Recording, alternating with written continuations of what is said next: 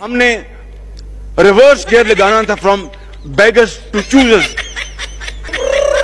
और आज भी हम बेगर्स हैं। खुदा जाने हम चूजर्स कब बनेंगे। ये सब कुछ हमारे अपने ऊपर है। ना ये ना ये खाकी है, ना ये नारी है। ये सब कुछ हमारे अपने ऊपर। मैं कहा जाऊँ? की भट्टी में जाओ, जाके अपनी ऐसी कराओ।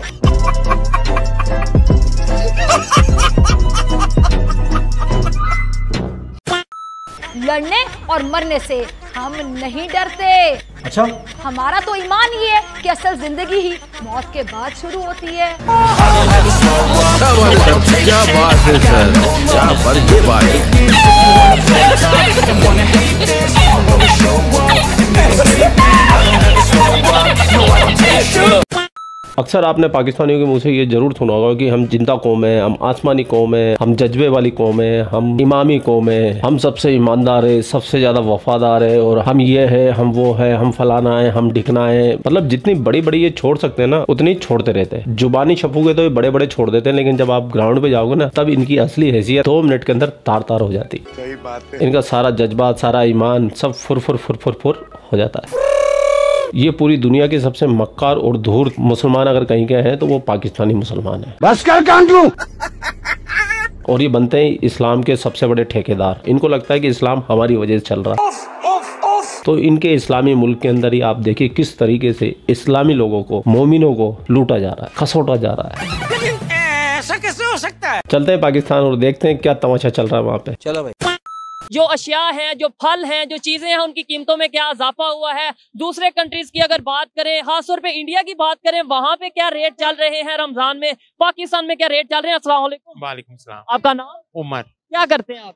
मेरा मेडिसिन का बिज़नेस मेडिसिन का बिज़नेस है। मुझे ये बताएँ रमज़ान आता है आपको भी पता होगा सुना होगा कि दुनिया के जो दूसरे कंट्रीज़ हैं कुछ ना कुछ रिलीफ देते हैं मुसलमानों को रमज़ान को लेकर। पाकिस्तान में रिलीफ दिया गया या रमज़ान आने पर कीमतों की जो कीमतें हैं वो बढ़ गई है। कीमतें बहुत बढ़ गई हैं रिलीफ कोई नहीं दिया गया। ये जो आटा बांट रहे हैं वो भी वो आटा बांट रहे हैं जो फार्म हाउसेस में जानवरों को खिलाया जाता है। अच्छा। जी ये वो वाला आटा तकसीम कर रहे हैं ये सही वाला जो आटा है वो तो आवाम तक पहुँचा ही नहीं। और उसके बाद जो अशिया थी उनके रेट आसमानों पे पहुँचा दी गए हैं और चेक एंड बैलेंस बिल्कुल नहीं है। तो भाई जानवर खाने वाले जानवरों को जानवरों को अगर आटा मिल रहा है तो क्या दिक्कत है मेरे भाई? खा लो ना। ऐसे कैसे? जन्नती कौम मेरे भाई खा लो। अच्छा ये आपका स्टॉल है? हाँ जी। अच्छा ये बताओ ये किस तरीके से है? ये डेढ़ सौ रुपए किलो। डेढ़ सौ रुपए और वो स्ट्रॉबेरी? स्ट्रॉबेरी तीन सौ रुपए किलो। तीन सौ रुपए किलो। मैं अभी अगर आपको बताऊँ कि रमज़ान स्टार्ट होने से ठीक एक दिन पहले ये स्ट्रॉबेरी दो सौ रुपए किलो थी रमज़ान में महँगी हो गई है। एक सौ साठ रुपए भी मिल रही है। ये दो दिन पहले मिल हाँ। रही सेब किस तरह? सेब ढाई सौ रुपए किलो। ढाई सौ। वाइट वाले दूसरे वाले कितने के हैं वो पूछे। साढ़े चार सौ रुपए किलो।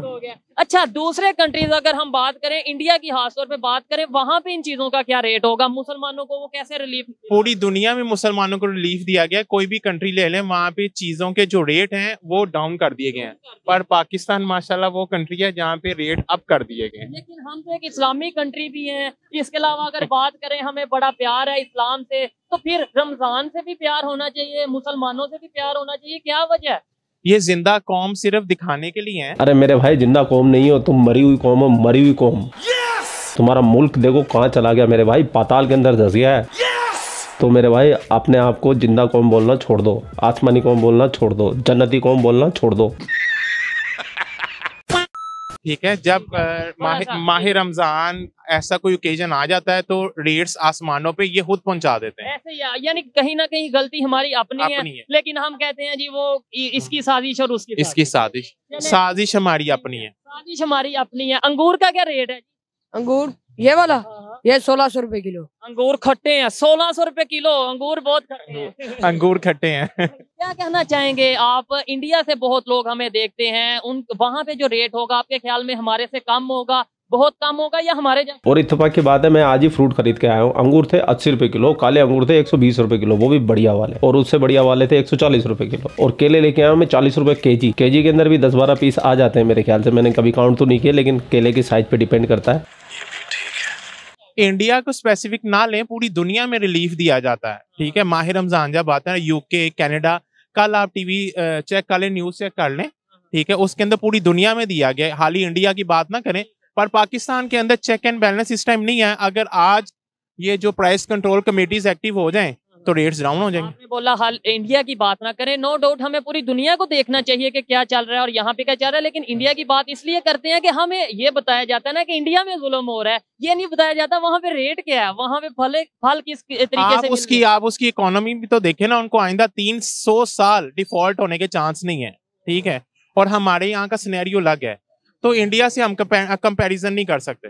ये आपने कौन सा मतलब आपने कोई अथेंटिक बात की है कि 300 साल नो डाउट के बहुत बड़ी दुनिया की पांचवी बड़ी इकानमी है लेकिन हाँ। तो ये रिपोर्ट है कि तीन रिपोर्ट सोशल मीडिया पे गूगल करें आपको मिल जाएगी अच्छा हाँ जी हो गया।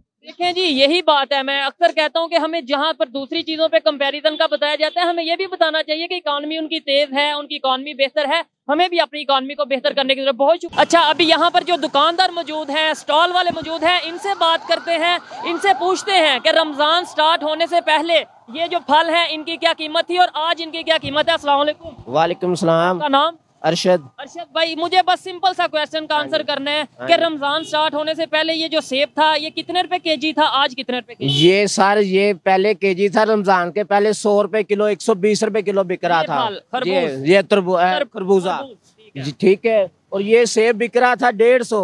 अब ये बिक रहा है ढाई सौ।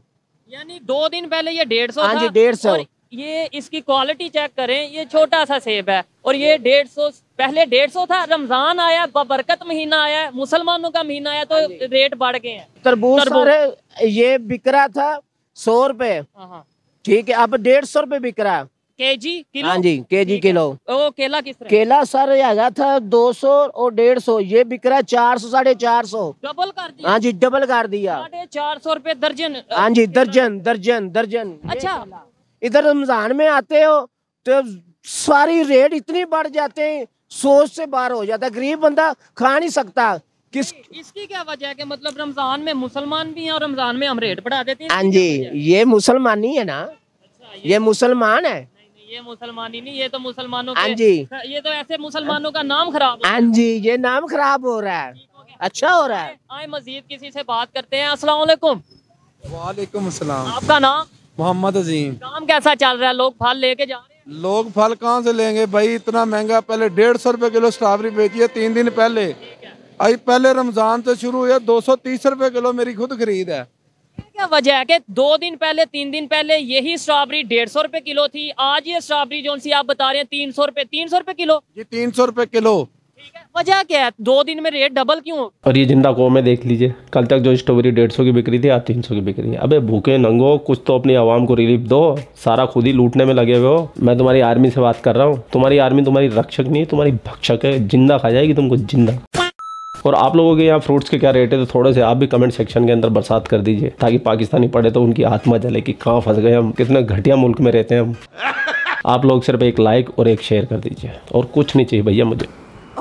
आप लोग अपना ख्याल रखिए, आपका भाई आपके लिए ऐसे पाकिस्तान से रिलेटेड वीडियो आता रहता है। जय हिंद, वंदे मातरम, जय श्री राम, जय श्री राम, जय श्री राम।